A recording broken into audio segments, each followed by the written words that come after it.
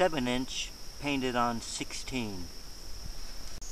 Howa 1500 30 6. Gonna be shooting the Hornady 150 grain full metal jacket. My hand load. 350 yards. Well, this will be the last shot this rifle at this distance. If I hit that center of that target, I think I will.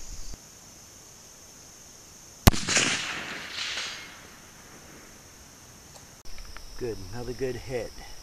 So it's a, it's a pretty tight group, so I think I'm completely fixed now. It wouldn't be doing that before.